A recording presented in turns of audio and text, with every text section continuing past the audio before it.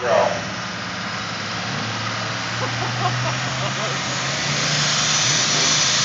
I wish I could speak, but I can't right now.